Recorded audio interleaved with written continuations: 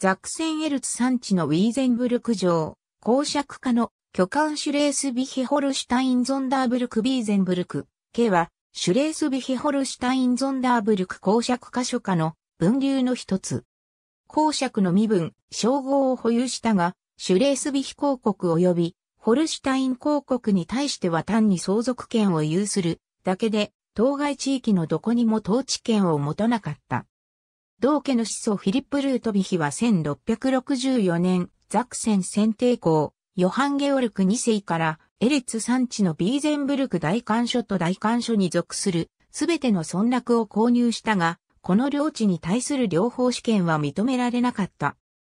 彼は、シュネーベルクとノイシュテッテルに鉱山業を起こし、この事業は最初こそ失敗に思われたものの、1670年代には大変な経済的利益を生むようになり、フィリップ・ルートビヒは欧州の最も成功した鉱山経営主の一人に数えられた。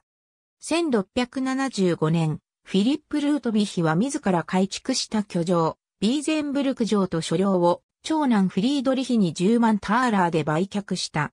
フィリップ・ルートビヒは1686年、ブランデンブルク・バイロイト辺境博クリスティアン・エルンストからフランケン地方のオーバーコッツァを購入し、そこで没した。ハンガリー王国軍の陸軍中将だったフリードリヒは、シレジア・ピアスト家末裔の公女シャルロッテ・フォン、リーグニッツブリークとの不幸な結婚の末に離別した。彼は、死の前年の1723年、一人息子レオポルトに城と所領譲渡した。レオポルトは1725年、同公爵が死んで間もなくヴィーゼンブルク城と所領を、ザクセン選帝侯、フリードリヒ・アウグスト一世に12万6400ターラーで売り渡した。レオポルトは皇帝に仕え、帝室顧問官を務めて、金羊毛騎士団騎士となった。